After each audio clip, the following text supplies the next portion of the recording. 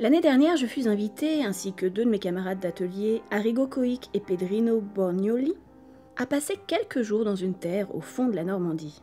Le temps, qui à notre départ promettait d'être superbe, s'avisa de changer tout à coup et il tomba tant de pluie que les chemins creux où nous marchions étaient comme le lit d'un torrent.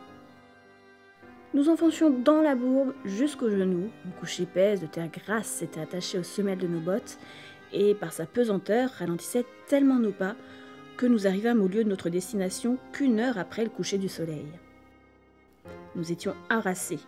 Aussi, notre hôte, voyant les efforts que nous faisions pour comprimer nos bâillements et tenir les yeux ouverts, aussitôt que nous eûmes soupé, nous fit conduire chacun dans notre chambre. La mienne était vaste.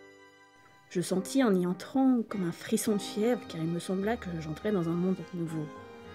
En effet, on aurait pu croire, au temps de la Régence, avoir les dessus de porte de boucher représentant les quatre saisons, les meubles surchargés d'ornements de rocaille, du plus mauvais goût et les trumeaux des glaces sculptés lourdement. Rien n'était dérangé. La toilette, couverte de boîtes à peigne, de houppes à poudrer, paraissait avoir servi la veille. Deux ou trois robes de couleurs changeantes, un éventail semé de paillettes d'argent jonchait le parquet bien ciré, et à mon grand étonnement, une tabatière d'écaille, ouverte sur la cheminée, était pleine de tabac encore frais. Je ne remarquais ces choses qu'après que le domestique, déposant son bougeoir sur la table de nuit, m'eût souhaité un bon somme. Et je l'avoue, je commençais à trembler comme la feuille. Je me déshabillais promptement, je me couchais, et pour en finir avec ces sottes frayeurs, je fermais bientôt les yeux en me tournant du côté de la muraille. Mais il me fut impossible de rester dans cette position. Le lit s'agitait sous moi comme une vague, mes paupières se retiraient violemment en arrière. Force me fut de me retourner et de voir. Le feu qui flambait jetait des reflets rougeâtres dans l'appartement, de sorte qu'on pouvait sans peine distinguer les personnages de la tapisserie et les figures des portraits enfumés pendus à la muraille.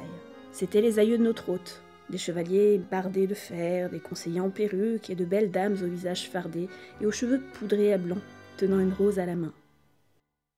Tout à coup, le feu prit un étrange degré d'activité. Une lueur blafarde illumina la chambre et je vis clairement que ce que j'avais pris pour de vaines peintures était la réalité. Car les prunelles de ces êtres encadrés remuaient, scintillaient d'une façon singulière. Leurs lèvres s'ouvraient et se fermaient comme des lèvres de gens qui parlent mais je n'entendais rien que le tic-tac de la pendule et le sifflement de la bise d'automne. Une terreur insurmontable s'empara de moi, mes cheveux se hérissèrent sur mon front, mes dents s'entrechoquèrent à se briser, une sueur froide inonda tout mon corps. La pendule sonna onze heures.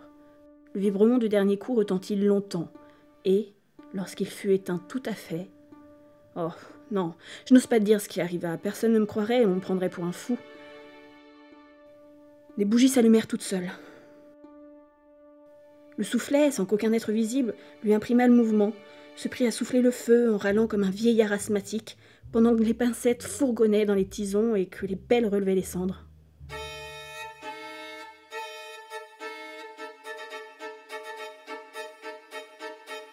Ensuite, une cafetière se jeta en bas d'une table où elle était posée et se dirigea, clopin-clopant, vers le foyer où elle se plaça entre les tisons. Quelques instants après, les fauteuils commencèrent à s'ébranler et, s'agitant leurs pieds tortillés d'une manière surprenante, vinrent se ranger autour de la cheminée. Je ne savais que penser de ce que je voyais, mais ce qui me restait à voir était encore bien plus extraordinaire. Un des portraits, le plus ancien de tous, celui d'un gros joufflu à barbe grise, ressemblant à s'y méprendre à l'idée que je me suis faite du vieux Sir John Falstaff, sortit en grimaçant la tête de son cadre et, après de grands efforts, ayant fait passer ses épaules et son ventre rebondi entre les ais étroits de la bordure, sauta lourdement à terre. Il n'eut pas plutôt pris haleine qu'il tira de la poche de son pourpoint une clé d'une petitesse remarquable. Il souffla dedans pour s'assurer si la fourrure était bien nette, et il l'appliqua à tous les cadres, les uns après les autres. Et tous les cadres s'élargirent de façon à laisser passer aisément les figures qu'il refermait.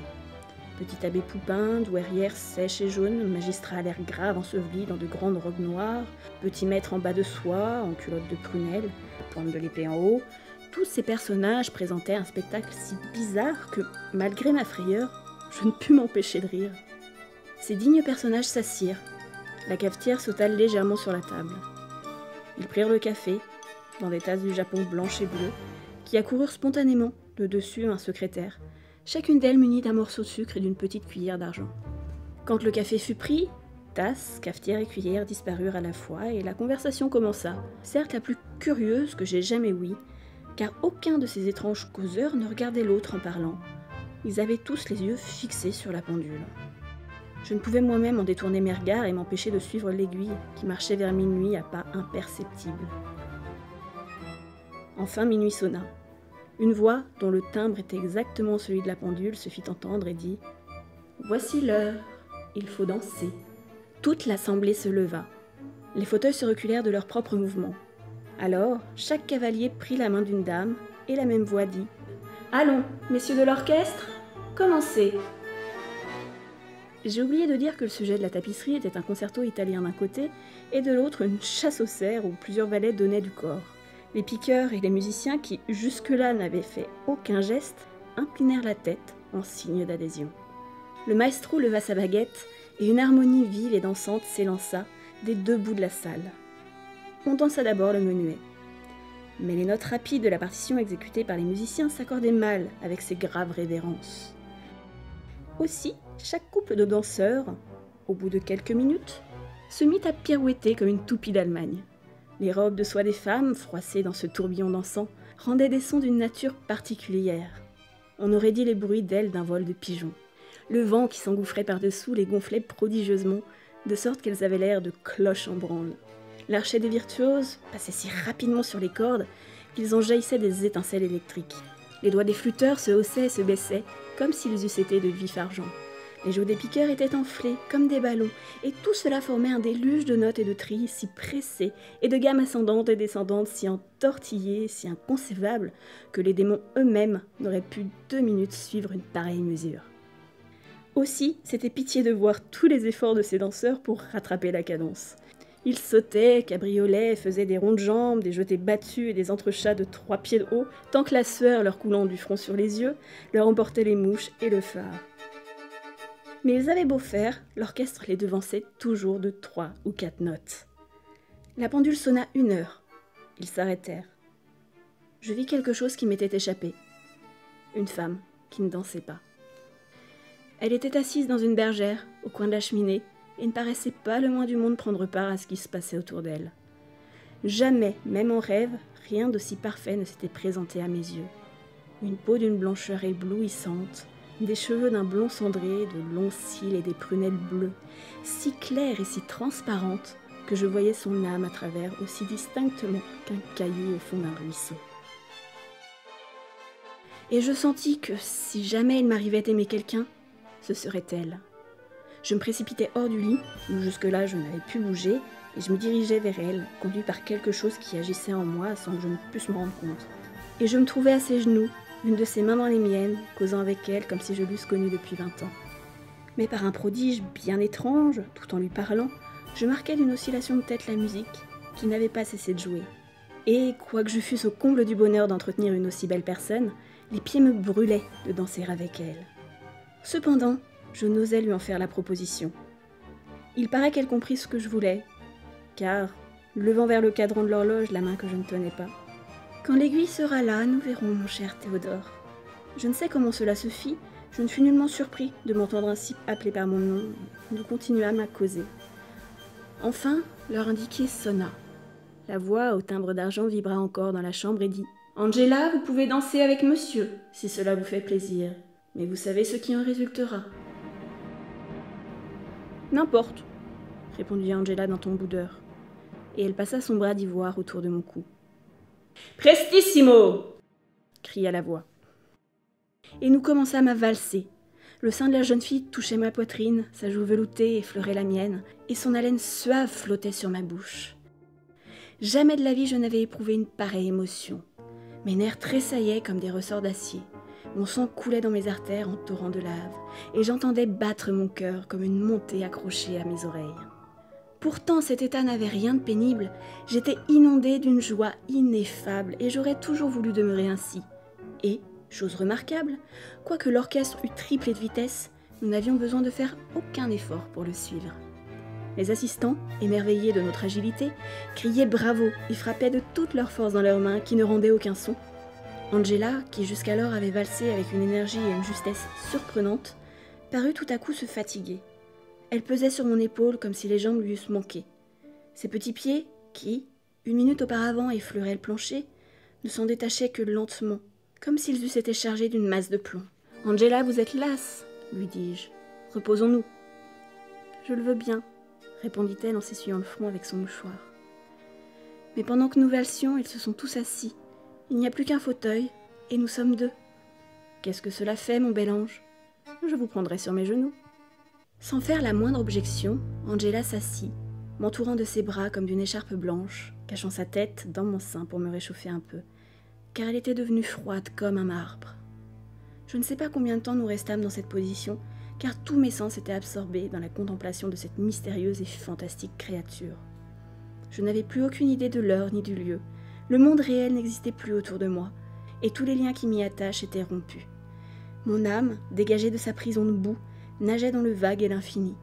Je comprenais ce que nul homme ne peut comprendre. Les pensées d'Angela se révélant à moi sans qu'elle eût besoin de parler, car son âme brillait dans son corps comme une lampe d'albâtre, et les rayons partis de sa poitrine perçaient la mienne de part en part. L'alouette chanta.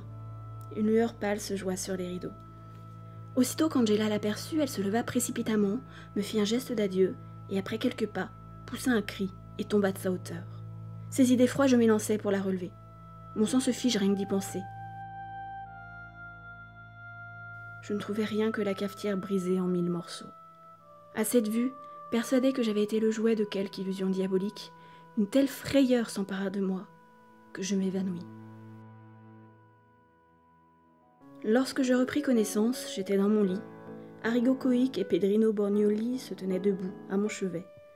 Aussitôt que j'eus ouvert les yeux, Arrigo s'écria Ah Ce n'est pas dommage, voilà bientôt une heure que je te frotte les tempes à l'eau de Cologne. Que diable as-tu fait cette nuit? Ce matin, voyant que tu ne descendais pas, je suis entré dans ta chambre et je t'ai trouvé tout long, là, étendu par terre, en habit à la française, serrant dans tes bras un morceau de porcelaine brisée, comme si tu étais une jeune et jolie fille. Pardieu, c'est l'habit de noces de mon grand-père dit l'autre en soulevant une des basques de soie fond rose à ramage vert. Voilà les boutons de strass et de filigrane qu'il nous vantait tant. Théodore l'aura trouvé dans quelques coins et l'aura mis pour s'amuser. Mais à propos de quoi t'es-tu trouvé mal? Ajouta Borgnoli. Cela est bon pour une petite maîtresse qui a des épaules blanches.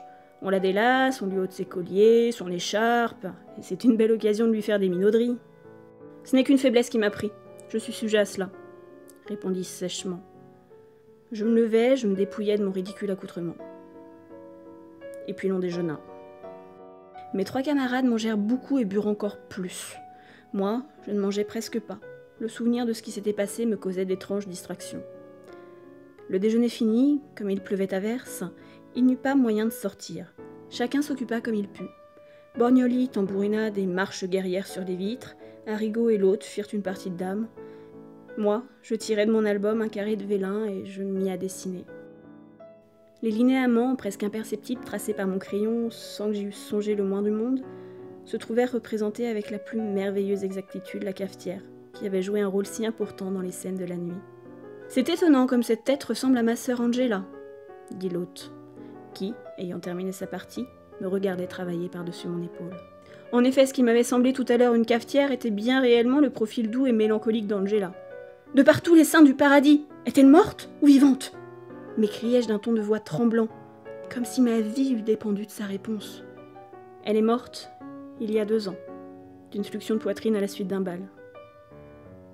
Hélas répondis-je douloureusement. Et retenant une larme, qui était prête de tomber, je replaçai le papier dans l'album. Je venais de comprendre qu'il n'y avait plus pour moi de bonheur sur la terre.